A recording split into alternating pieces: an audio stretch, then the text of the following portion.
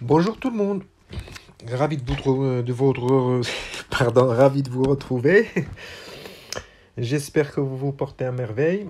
Comme à l'accoutumée, que vous êtes en train de préparer, que vous trouvez du plaisir à travailler tout comme je le fais moi-même.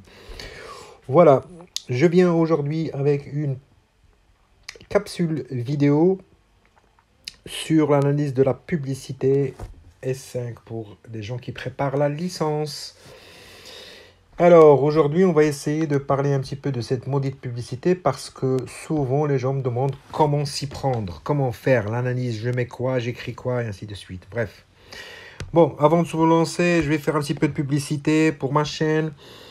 Je ne sais pas si vous êtes au courant, mais comme je le dis, j'ai créé une communauté, une communauté spéciale. Ça veut dire que ce sont des membres de ma chaîne qui vont s'abonner moyennant 1,8€. C'est un prix symbolique.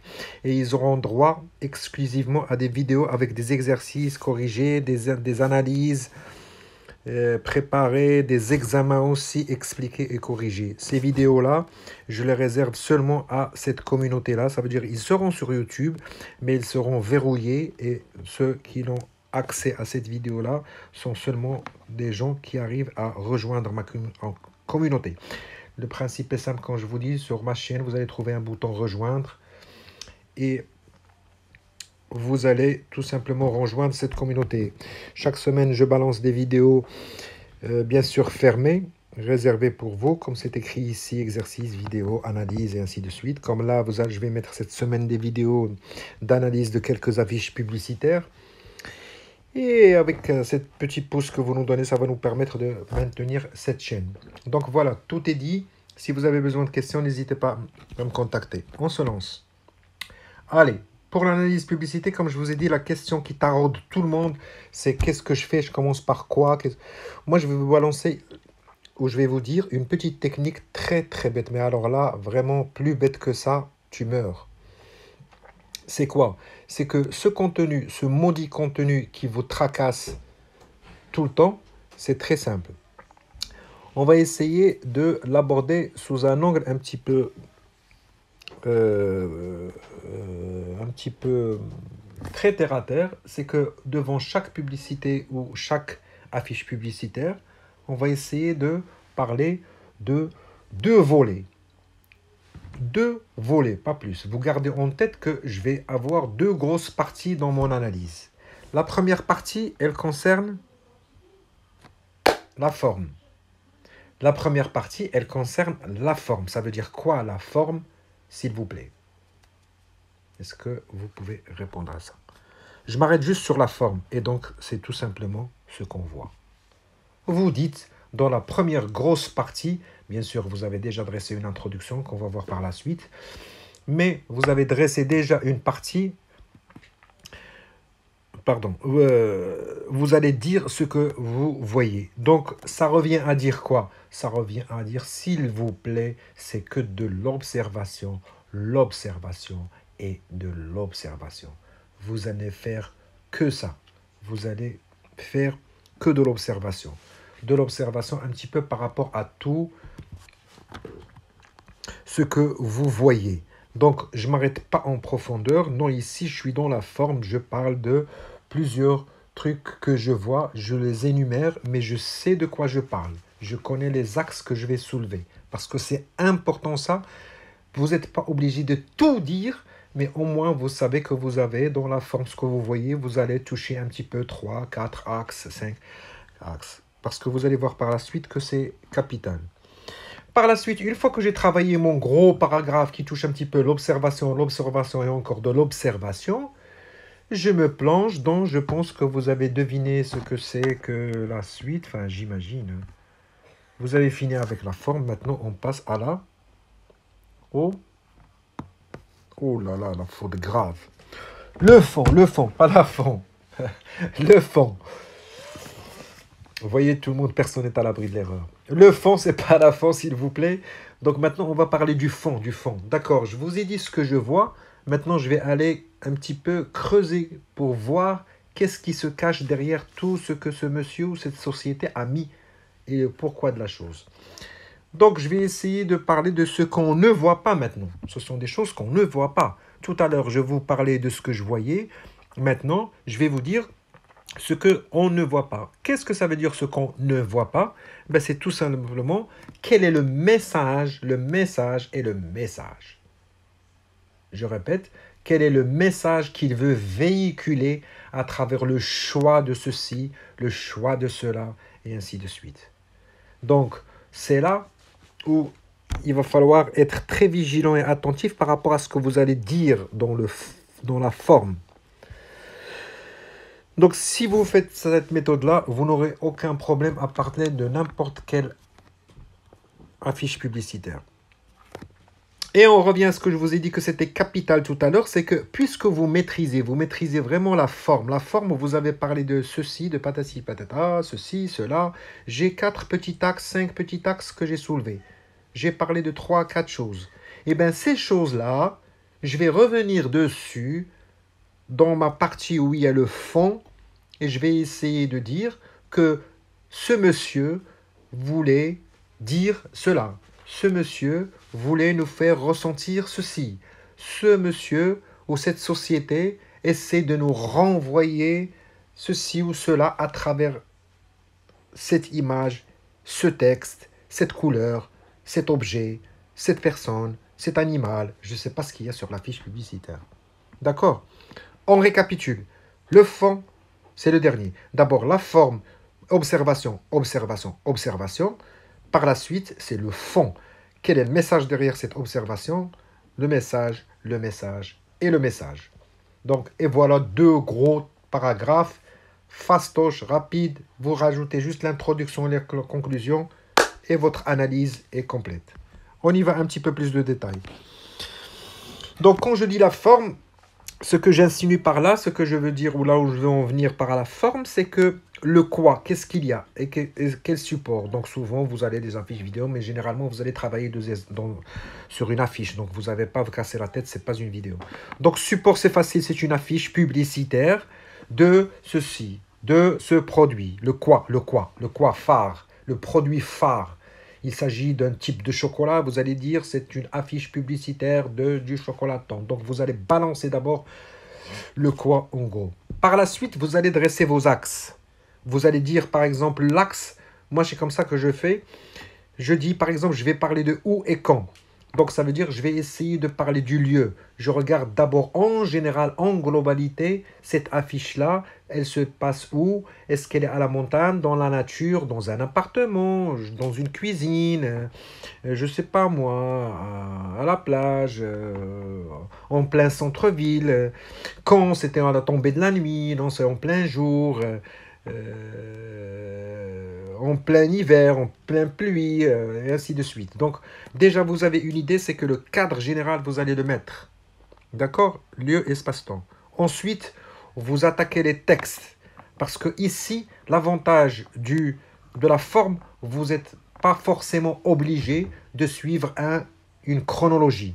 L'essentiel, c'est que vous arrivez à observer bien votre affiche et ne pas oublier la majorité ou bien les trucs important. Le texte, je vais voir qu'est-ce qu'il y a écrit, pas écrit, quels sont les caractères qui sont écrits, comment ils sont écrits, est-ce qu'il y a un slogan un slogan, ça veut dire un message publicitaire qui est très connu de cette marque. Par exemple, quand je vous dis euh, un monde nouveau vous appelle. Euh, quand je vous dis on se lève tous pour. Donc vous allez comprendre que c'est Danette. Vous allez euh, donc à chaque fois que je vous dis un slogan, une phrase, il y a des produits qui sont très connus avec leurs mots, avec leurs phrases, pardon. C'est ça le slogan. Il est là pour étiqueter, pour euh, cristalliser, pérenniser et éterniser ce produit. Dès que vous entendez cette phrase, ça vous tient, ça vous fait tilt par rapport au, produit. Et souvent, il y a un message derrière, il y a un message, euh, une signification derrière. Donc après, vous vous arrêtez sur les textes le slogan et autres écrits, les caractères, où est-ce qu'il est placé en haut, à droite, à gauche, il est en gras, non, il y a juste la première lettre qui est en majuscule et en gras pour vous attirer l'attention. Donc, je dis pas pardon pour attirer l'attention et tout ça, j'explique rien. Je dis juste ce que je vois. Je commence pas à interpréter. L'interprétation, c'est après. Une fois vous avez attaqué le slogan, les textes et ainsi de suite, vous vous arrêtez maintenant sur le contenu en matière d'objets et de personnes. Est-ce qu'il y a des personnes? Combien de personnes il y a? Qui se trouve où Par rapport à qui? Est-ce qu'il y a un geste de l'une d'une personne par rapport à l'autre? Est-ce qu'il y a des objets qui sont posés en premier plan, en deuxième plan? C'est ici souvent où vous allez parler un petit peu des plans parce que vous allez commencer à décrire les personnes et les objets. D'accord? J'ai rajouté un petit peu les couleurs parce que les couleurs, on pourrait les rajouter avec où et quand, quand vous parlez d'une manière générale. Vous pouvez aussi dresser ça. Moi, je préfère que la couleur, vous la rajoutez en premier. Dès que vous attaquez une vue d'ensemble, vous parlez du lieu, de l'espace, de quand ça se produit, mais aussi vous essayez de toucher un petit peu la notion de couleur. Qu'est-ce qu'il y a comme couleur euh, euh, utilisée. Donc, couleur, vous la rajoutez à où et quand. Donc, essayez de garder en carte, une carte mémoire dans votre tête avant même que vous soyez devant votre examen. Et vous vous dites, chaque affiche publicitaire, je vais essayer plus ou moins de l'aborder sous trois axes. Et chaque axe, il il existe des sous-axes, donc je les maîtrise. Je sais que c'est l'espace et le temps et un petit peu les couleurs en premier. Après, je vais pas oublier les textes et tout ça. Et ensuite, je vais parler de tout le matériel qui est sur la, la photo, ou bien tous les objets, ou bien tous les personnages. Ok? Donc c'est comme ici dans cette affiche-là. Vite fait, dès que vous voyez, vous voyez qu'il y a, par exemple, ça se passe euh, en pleine nature avec un froid glacial. Les couleurs aussi, ils sont pratiquement majoritairement blanches, la couleur. Euh, par rapport à, au texte, euh, comme vous le voyez ici, ici c'est écrit quoi? C'est énergie, energy drink, ça veut dire que c'est quelque chose qui nous apporte de l'énergie. Il y a aussi, comment dirais-je, Red Bull écrite à gauche avec un petit écrit. Euh, je ne réussis pas à le déchiffrer, mais de toute façon, je vous allez le retrouver sur euh, l'analyse de la fiche. Il y a aussi, euh, par exemple, je passe au, Comment on appelle Comment on l'a appelé tout à l'heure Le contenu. Il y a une main qui brise une glace et qui sort en plein milieu en premier plan, qui tient une canette, canette qui est bleue et dans la couleur avec une écriture dessus et le logo de Red Bull, toujours avec Energy Drink. Il y a un animal qui se trouve juste là sur la droite. Donc, aussi avec une couleur blanche qui s'aligne aussi avec, euh, avec les couleurs de l'hiver et une glace qui est brisée. Donc, je vous donne juste un exemple comme ça, mais bon, c'est à vous de, de, de interpréter ça comme vous voulez. Alors, pareil, Décathlon, donc la nature, on est en plein milieu de la plage, euh, avec des petites vagues, la couleur qui est carrément prédominante et on voit qu'il s'accapare pratiquement toute la fiche, c'est le bleu ou bleu ciel. D'ailleurs, on le retrouve même cette couleur sur la, les maillots que portent euh, les, les jeunes et sur la planche au plein milieu, il y a une couleur, il y a une personne qui nous saute aux yeux ou qui nous euh, qui, qui, est saillante par rapport à l'affiche.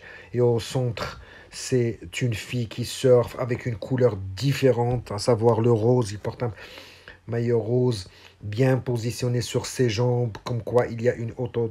Bon, on ne dit pas comme quoi ici, mais on juste on décrit. Par la suite, on retrouve aussi des personnages qui portent aussi des maillots j'ai commencé par ça parce que ensuite vous parlez du logo de Decathlon figure en bas à droite avec le slogan de Decathlon. Je ne sais pas si vous arrivez à le voir. We make sport easy. Ça veut dire on met le sport facile. Ça veut dire pour n'importe qui veut pratiquer le sport, il n'y a pas plus facile que de le faire avec Decathlon. Mais avec Decathlon, bien sûr. Hein. C'est nous qui mettons le sport euh, easy, facile plutôt. Donc c'est un petit peu comme ça que vous allez essayer de décrire. Vous pouvez rentrer dans les détails un petit peu si vous voulez, mais il ne faut pas que ce soit trop trop non plus. Sourire des, des gens qui portent et qui portent d'une manière aisée, facile. Tu vois bien qu'ils ne souffrent pas. La fille, elle est bien euh, sur, euh, sur, euh, sur ses jambes avec une chevelure dorée. Ainsi de suite. D'accord Donc ce sont des petits trucs... pardon. La dernière. Dior, donc, bon, je vais pas vous rabâcher, je ne veux pas vous retenir avec, avec, avec, avec tout ça. Donc aussi ici, il y a la notion de couleur euh, euh, qui prédomine euh, avec une couleur par hasard, pas, pas, pas choisie par hasard, c'est la couleur d'or. Donc on sait qu'on renvoie un petit peu à tout ce qui est... vous avez deviné, une femme plus ou moins ici, il est respecté la méthode des trois tiers. Essayez de vous renseigner, je vais vous expliquer ça dans une autre vidéo, qu'elle n'est pas vraiment au centre et je suis désolé, c'est quelque chose qui est prémédité et voulu, qu'elle soit un tout petit peu décalée parce que l'œil euh, fait un mouvement et s'imprègne plus lorsque l'objet désiré ou bien l'objet souhaité, on le met un petit peu plus décalé du centre. Euh, donc vous allez comprendre cette méthode des trois tiers. Euh, Je vais vous l'expliquer après. Mais un personnage, il y a une bouteille avec une capsule au-dessus. À côté, il y a le texte avec euh, euh, le mot j'adore et la marque Dior avec un D majuscule, tiens, comme je vous ai dit tout à l'heure. Les autres minuscules, une femme vêtue de vêtements qui sont aussi dorés et qui s'alignent avec les autres couleurs. Donc vous êtes dans l'observation, l'observation, l'observation. Quand vous finissez l'observation, vous revenez maintenant à la forme. Vous avez fini votre paragraphe, vous avez décrit tout ce qu'il y a à décrire. Eh bien, je suis désolé, vous devez vous plier à ce que vous avez dit dans la forme. Vous devez vous plier, parce que là, c'est le fond. J'ai oublié de changer. Ici, c'est le fond. Donc, le fond, vous allez essayer tout simplement de dire quoi? Eh bien, de nous dire, vous vous avez pas arrêté de nous dire, il y a, il y a, il y a, il y a, on trouve, on trouve, figure ceci, figure ceci, figure cela. Il y a une bouteille qui figure, il y a une marque qui figure ici. Nous remarquons qu'il y a une femme qui, qui est sur une planche ou bien une main qui figure au milieu, brisant la glace pour portant une canette Red Bull avec écrit du... Vous avez dit tout ça, mais quel est le sens de tout ça? Pourquoi, pourquoi il fait tout ça? Pourquoi il explique tout ça? Eh bien, je suis désolé, c'est à vous de voir qu'est-ce que vous avez choisi comme d'après vous, quelle est la finalité. Qu'est-ce qu'il cherche? Ce produit, il cherche à montrer quoi? Par exemple, dans la première, il cherche à montrer que les puissantes, il y a de la force. Ah, très bien, c'est ça le message qu'il veut véhiculer. C'est ça la finalité, qu'il veut dire que si tu bois, tu es puissant, tu es énergétique, tu es capable de faire beaucoup de choses. Très bien. Alors montre-moi le lien. Il est où le lien avec où et quand Avec ce que tu dis? Ben, très bien. Je vous ai dit où et quand. Je vous ai montré que c'était un lieu qui était vraiment glacial. C'est un lieu qui est quand même difficilement vivable. En plein milieu de la neige au point où même les lacs ont gelé. Même les lacs ont gelé. On remarque que les lacs, ils nous veulent nous transmettre cette force et cette puissance. Comme quoi, même si les lacs sont gelés, la main arrive à transpercer carrément avec cette canette de Red Bull et transpercer la glace et tout ça. Donc, il faut que tout soit expliqué par rapport à ça. Les couleurs sont contrastées par rapport à, le, bleu un petit peu avec euh, le blanc. Donc, pour ne pas nous perturber plus ou moins, il essaye d'aligner la couleur blanche avec aussi un ours, un ours qui est de la même couleur pour rejoindre cette force-là parce que c'est un animal qui est connu pour sa force et sa puissance. Euh, lorsque vous êtes en train de parler des, personnes bien des objets, vous avez Red Bull dans la main, mais vous avez un animal qui est là, qui est symbole aussi de la force. Donc, ce qui s'aligne avec le message que veut véhiculer, que veut transmettre euh, euh, Red Bull. Le texte aussi, il ne fait pas de faux. Nous remarquons que le texte et le slogan viennent s'aligner avec tout ce que renvoie l'image, puisque l'énergie, drink energy ou energy drink, je me souviens plus du slogan, mais il nous parle aussi de l'énergie, de la puissance. Ça veut dire que si tu bois donc vous devez essayer, bien sûr, de venir nous prouver tout ce que vous avez dit avec ça. Ici, par exemple, vous essayez de nous dire que c'est vraiment quelque chose de précieux, c'est quelque chose de inaccessible, c'est quelque chose de cher, de, d'onéreux. Où est-ce que vous le voyez? Donc c'est avec l'or. L'or symbolise la richesse, symbolise le côté précieux, le caractère précieux, non seulement d'un objet, mais il l'aligne avec aussi les vêtements de la femme et même la peau. La peau de la femme, elle ne faillit pas à cette règle-là. Elle est aussi plus ou moins dorée, la femme abstraction faite sur sa beauté et son élégance. On remarque qu'elle vient s'aligner aussi avec, euh, si on fait aussi un, focus sur les murs ou bien sur la bouteille, elles ont la même odeur, la même couleur aussi. Donc il y a une certaine symbiose du jaune ou bien du doré qui est symbole de, de, du caractère précieux que ce soit pour un objet, que ce soit pour le lieu où elle est, mais que ce soit aussi pour la personne. Donc vous imaginez, vous essayez de faire un triangle, le lieu doré, l'objet doré et la personne, elle est aussi dorée. Donc tout est précieux. Donc les gens qui sont précieux, ils ne peuvent que s'entourer d'un environnement précieux. Donc j'adore Dior en plus. La phrase, elle est très révélatrice du slogan. J'adore Dior. Donc c'est symbole de l'excellence. Enfin, je vous dis ça rapidement comme ça. Ici aussi, vous avez dit que c'est du bonheur de faire du sport. Eh ben, ça se voit. La position de la femme qui, a une, qui affiche une autodétermination. On, on, ressent qu'il y a une autodétermination de, de pratiquer du sport et un plaisir. Ça veut dire qu'elle que ça génère tout ça, de l'adrénaline et de la joie. Les, les gens qui portent avec un sourire la planche et avec Ezos aussi, ça se voit que ils font ça avec, euh, plaisir et avec, euh, et avec bonheur. La couleur ne faillit pas non plus à tout ce tableau, puisque c'est très facile, le, la symbiose d'un, d'un, d'un, climat ou bien d'une... Euh, j'ai perdu le mot ça veut dire il n'y a pas de nuages, il n'y a pas de pluie, euh, tout est paisible. Voilà la paisibilité du climat. Le, le, le, bleu, le ciel bleu dégagé complètement renvoie une certaine paisibilité et donc renforce aussi ce plaisir de pratiquer du sport ou bien cette aisance de pratiquer du sport et ainsi de suite. Donc je ne vais pas vous rabâcher encore ça ici et là. Donc s'il vous plaît, l'essentiel c'est que vous essayez de vous focaliser sur deux choses. Il y en a qui l'appellent le signifiant la forme, et le signifier, le fond. Le signifiant, la forme, et le signifier. Ça veut dire le signifiant, ce sont des objets, des personnes qui sont sur l'affiche. Mais qu'est-ce que ça signifie, ce signifiant? Eh bien, voilà ce que ça signifie.